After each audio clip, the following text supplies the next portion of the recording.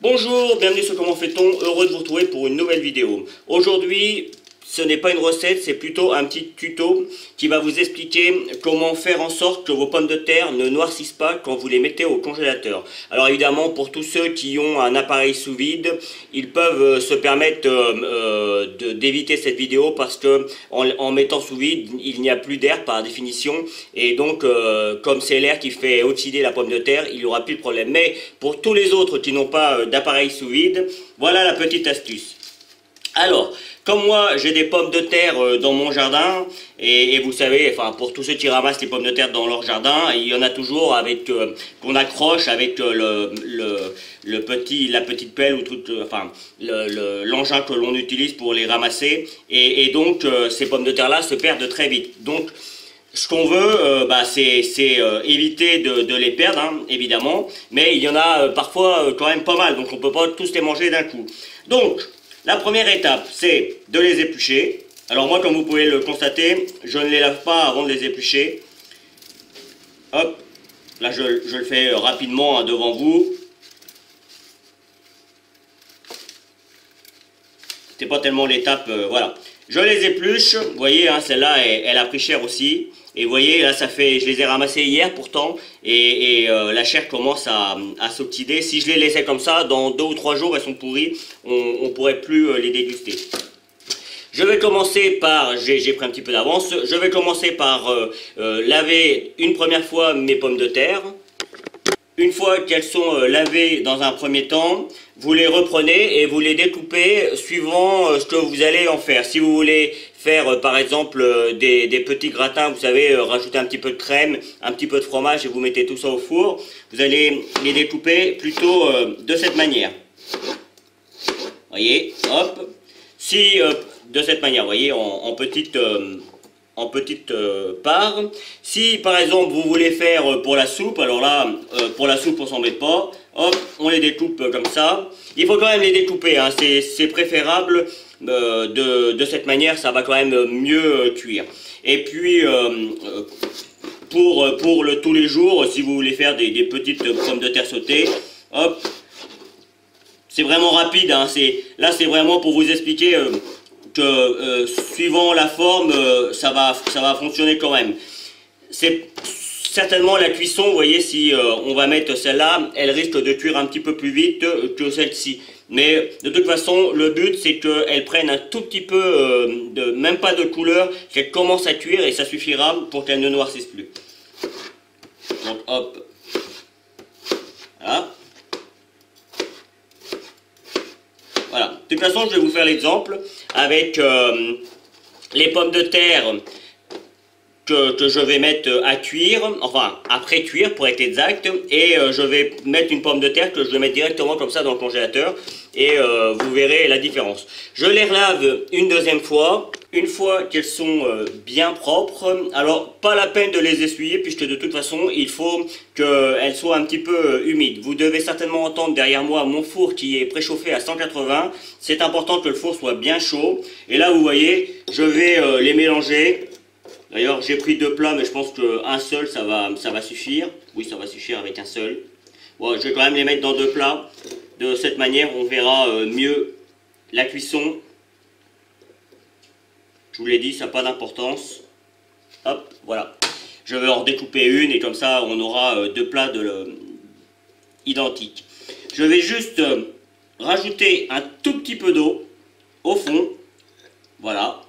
Et c'est parti pour, euh, allez, 10, 15 minutes, pas plus, euh, à 180 degrés. C'est pour ça qu'il faut que le four soit bien chaud. 10-15 minutes, vous mettez euh, la minuterie, vous pouvez les sortir, vous les laissez refroidir, et après il suffit de les mettre dans des sacs à congélateur ou les garder dans vos, dans vos plats. Et, vos pommes de terre ne resteront parfaitement, parfaitement blanches. Et en plus, elles, sont, elles seront déjà plus ou moins pré-cuites, donc euh, lorsque vous les sortirez, euh, la cuisson sera plus rapide. J'ai donc, comme promis, découpé deux petites pommes de terre. Euh, j'en ai pas mis beaucoup parce que je sais qu'elles vont être perdues, donc c'est quand même dommage de perdre des pommes de terre.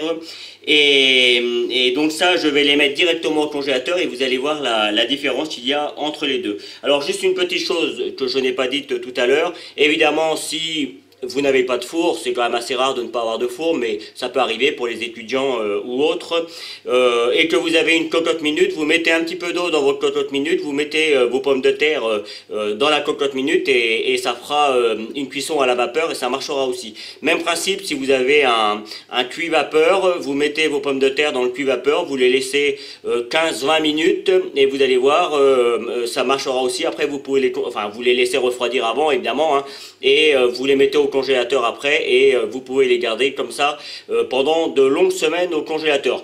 Il faut savoir qu'en général, au congélateur, euh, au bout d'un an, il faut que tout soit remis à jour parce que les, aliments perdent un petit peu de leur valeur, même si au congélateur, ça, les, les, comment dire, les nutriments, tout ça, ça se garde relativement bien. Mais évidemment, plus le temps est long dans le congélateur et plus il y a une perte, hein, c'est tout à fait normal. C'est comme un fruit euh, que vous ramassez dans l'arbre, le premier jour il va être super bon euh, sur le plan nutritif et plus les jours vont passer et plus il va perdre de, euh, des nutriments et tout ça, c'est tout à fait normal.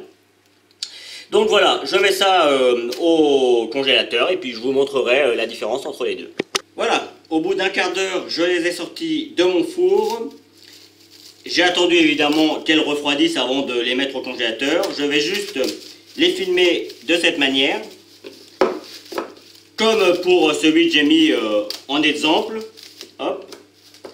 Et je mets au congélateur également, et je vais ressortir les deux et vous verrez la différence. Et voici le résultat. Alors juste pour info, je les ai laissés 3 jours au congélateur pour euh, bien voir que, celles que j'ai pré-cuites n'ont pas euh, bougé. Et par contre, celles que j'ai laissées euh, comme ça, hein, vous pouvez voir, elles sont toutes noires là sur les, sur les bords et même là. Et, surtout, quand on va les mettre à cuire ou quand si vous les décongelez un petit peu avant de, les cuire, elles vont continuer à noircir et ça, ça va franchement pas être bon alors que celles-ci, elles vont se maintenir. Moi, si j'ai un conseil quand on les, euh, quand on les met au congélateur euh, comme ça, c'est euh, de les remettre à cuire directement, encore congelés. voilà. Après, ça, ça marche. Voilà, vous avez vu la différence, donc on va pouvoir faire la petite photo de fin. Ce petit tuto va se terminer sur cette image. J'espère que cela vous servira pour vos futures congélations de pommes de terre. En tout cas, moi, j'ai pris comme toujours beaucoup de plaisir euh, à vous le proposer. Vous allez voir apparaître les liens qui vont vous permettre d'aller sur Facebook, Twitter, Instagram. N'hésitez pas, faites-vous plaisir, abonnez-vous.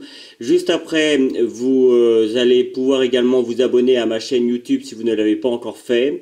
Et puis, euh, n'oubliez pas quand vous vous abonnez de cliquer sur le petit, la petite cloche pour recevoir mes notifications de mes recettes. en général, je les poste le lundi et le jeudi vers 9h euh, quand tout va bien. Donc, euh, donc n'hésitez pas. Et juste à côté, vous aurez également le, lien qui vous amènera sur mon site www.commentfaiton.com où vous retrouverez une grande partie de mes recettes. Et je vous donnerai deux recettes euh, à, à partir de pommes de terre juste en dessous. À bientôt sur Comment fait-on?